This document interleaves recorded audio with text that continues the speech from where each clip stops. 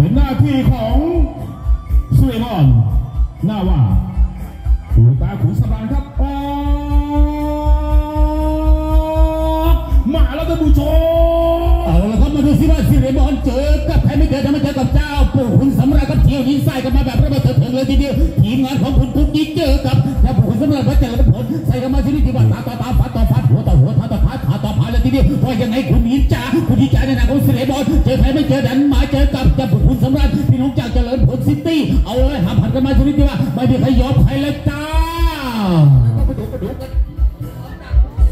แต่ว่าอย่างนั้นจะเลยผลแต่ผลก็ยังผูกขี่สูสีเบียดกับบ้านทะเลบอลเน่าวะคนที่สนับสนุนนะครับพอเจอผู้ตาขุนสำรันผู้ตาขุนสำรันวัดเจริญผลผูกขี่สูสีเบียดหนีกี่กันมาตาคนตาพัดตาคนตาคิดตาขนตาไปไม่มีใครยอมไปว่ายังไงว่ายังไง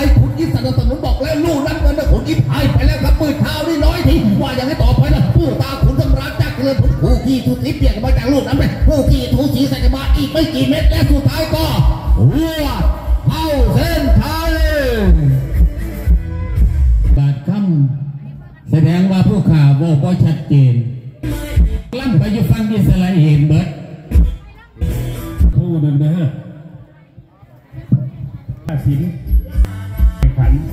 นะครับไปเที่ยวที่สองนะครับางเรือสิเรมออนนาวา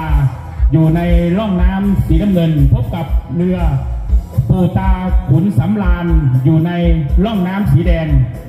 ผลการตัดสินนะครับคณะกรรมการตัดสินให้เรือปูตาขุนสำรานอยู่ในร่องน้ำสีแดงชนะนะครับ เนื่องจากเรือสีเอมออนอยู่ในร่องน้ำสีน้ำเงิน ตัดลู่นะครับ ตัดลู่นะครับปูตาขุนสำราน